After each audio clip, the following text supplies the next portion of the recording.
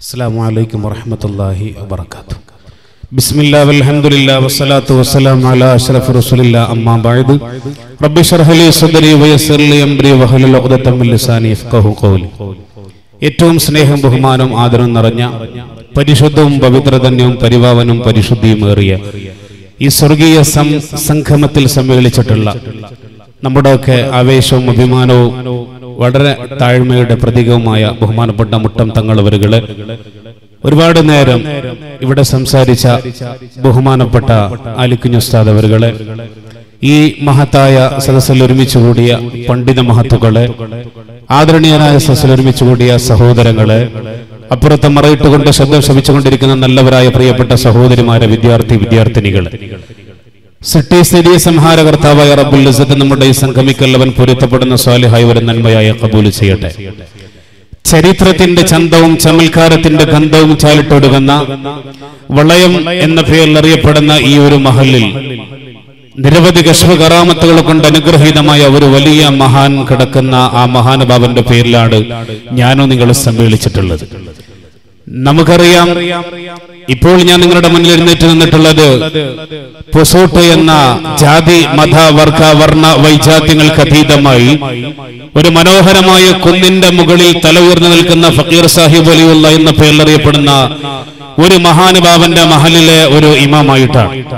അതിന് കുറച്ച് മുമ്പ് ആറു വർഷത്തോളം വിശുദ്ധമാക്കപ്പെട്ട ആർത്തിരമ്പുന്ന കടലിന്റെ തിരമാലകളെ തിരതള്ളിയിട്ട് കടലിലെ ഉപ്പുവെള്ളവും കടിച്ചുകൊണ്ട് കേരളക്കരയിലേക്ക് പരിശുദ്ധ ദീനിന്റെ സന്ദേശമായി വന്ന ഇസ്ലംകോടിൽ അന്തിയിറങ്ങുന്ന മഹാനായ റാഫി ബിൻ ഹംവി മാലിക് ദീനാർ അവരോട് കൂടെയുള്ള ആറ് മഹാന്മാരും ആ മഹലിലായിരുന്നു ഞാൻ ഹത്തീബായി ആറ് വർഷക്കാലം ജോലി ചെയ്തതെങ്കിൽ അവിടെ ജോലി ചെയ്യുന്ന സമയത്ത് ഞാൻ ഇവിടെ ഉറൂസിന് ഒരു അതിഥിയായി വന്നിട്ടുണ്ട്.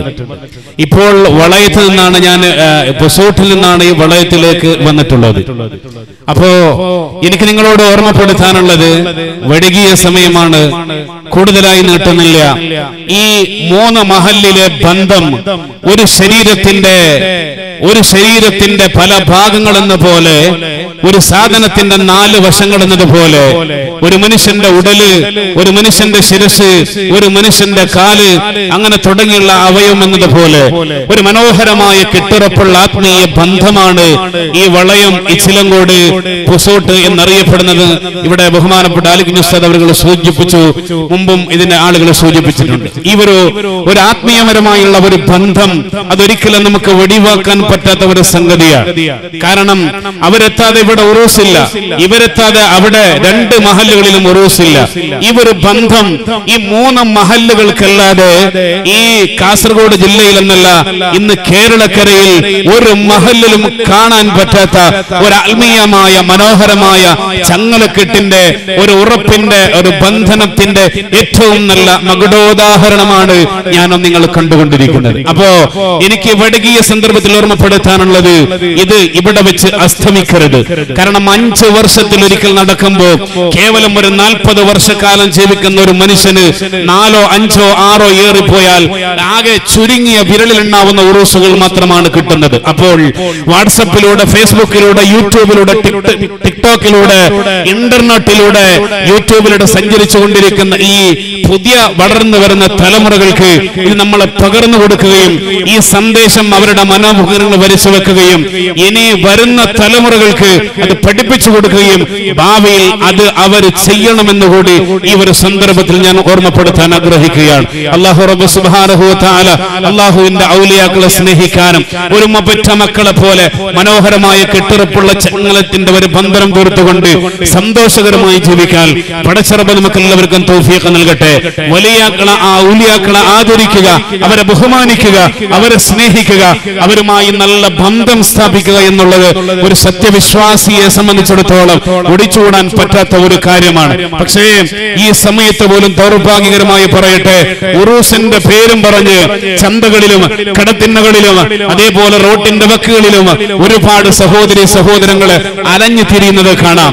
നിങ്ങൾ മൂലമാണ് ഇത്തരത്തിലുള്ള ആത്മീയ സദസ്സുകൾക്ക് ചെലവേൽക്കുന്നത് എന്ന് ഈ വടുകിയ സന്ദർഭത്തിൽ ഓർമ്മപ്പെടുത്താൻ ഞാൻ ആഗ്രഹിക്കുകയാണ്. അതുകൊണ്ട് ഇവിടെ ഈ മഹാനെ കാണുന്നവരുണ്ടെങ്കിൽ ഈ മണൽത്തരികൾക്ക് നാക്കുണ്ടെങ്കിൽ ഇവിടെ ചുറ്റി നടക്കുന്ന പ്രിയപ്പെട്ടവരോട് പറയാനുള്ളത് നിങ്ങളെ ചവിട്ടുന്ന മണൽത്തരികൾക്ക് ഒരുപക്ഷെ നിങ്ങളോട് സംസാരിക്കാനുള്ള കഴിവുണ്ടായിരുന്നു എങ്കിൽ അത് നിങ്ങളോട് വിളിച്ചു പറയുമായിരുന്നു മക്കളെ നിങ്ങൾ ഇവിടെ നിൽക്കരുത്. ഇവിടുത്തെ വലിയ ഇഷ്ടപ്പെടുന്നത് ഖുർആാനോത്തുകളാണ് നിക്കറുകളാണ് അറിവിന്റെ മനോഹരമായ വിസ്മയ വിരുന്നൂട്ടുന്ന സദസ്സാണ്. നിങ്ങൾ ആരെങ്കിലും സ്വർഗീയ പൂന്തോപ്പിലൂടെ നടന്നു പോയാൽ അതിൽ നിങ്ങളൊന്നും മേഞ്ഞു നിൽക്കണമെന്ന് ഹബീബായ നബി മുഹമ്മദ് മുസ്തഫ തങ്ങൾ പഠിപ്പിച്ചിട്ടുണ്ടെങ്കിൽ ആ പുണ്യ പ്രവാചകന്റെ പ്രഖ്യാപനത്തിലൂടെ നമുക്ക് മനസ്സിലാക്കാൻ കഴിയുന്നത് ഇത്തരത്തിലുള്ള അറിവിന്റെ അറിവുകൾ വിതരുന്ന മനോഹരമായ സദസ്സാണ് എന്ന് എന്റെ പ്രിയപ്പെട്ടവരെ നമ്മൾ പഠിക്കുകയും മനസ്സിലാക്കുകയും ചെയ്യണം. അള്ളാഹു റബ്ബ് സുബ്ഹാനഹു തആല ധാരാളം ഇൽമ പഠിക്കുന്നവരുടെ കൂട്ടത്തിൽ നമ്മെ എല്ലാവരും ഉൾപ്പെടുത്തി അനുഗ്രഹിക്കട്ടെ. ഉഖ്റവിയായ ആലിമീങ്ങളിലും പണ്ഡിതന്മാരിലും അള്ളാഹു നമ്മെ ഉൾപ്പെടുത്തി അനുഗ്രഹിക്കട്ടെ.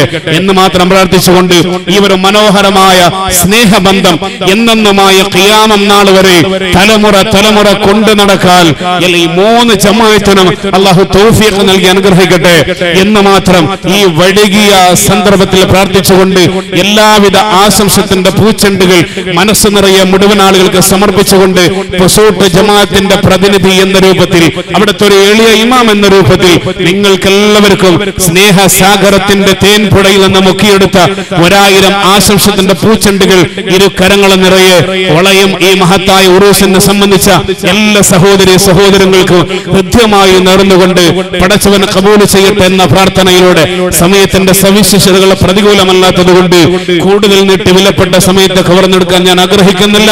ചിട്ടാവായ റബ്ബ് നമ്മെ കബൂൽ ചെയ്യട്ടെ എന്ന പ്രാർത്ഥനയിലൂടെ എന്റെ രണ്ട് വാക്കുകൾക്ക് തൽക്കാലം വിട. ആലമീൻ. അസ്സലാമു അലൈക്കും വറഹ്മത്തുള്ളാഹി തആല വബറകാതുഹു.